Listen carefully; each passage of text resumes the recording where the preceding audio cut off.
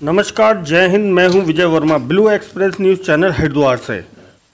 हरिद्वार दिनाजपुर डेरे से लगे नाले पर अवैध मदिरा बनाने की तैयारी की जा रही थी। सूचना पर मौके पर पहुँची आबकारी टीम ने अवैध मदिरा को किया नष्ट।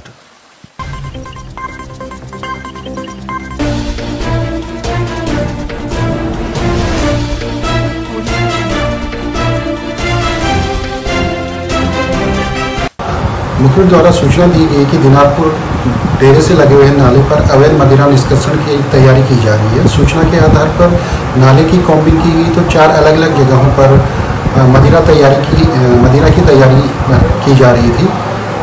चार जगह पर सात ड्रमों में लगभग 1600 केजी लहन मौके पर बरामद किया गया। लहन के अतिरिक्त शराब बनाने के उपकरण भी मौके पर बरामद किए गए। लहन को मौके पर नष्ट कर दिया गया तथा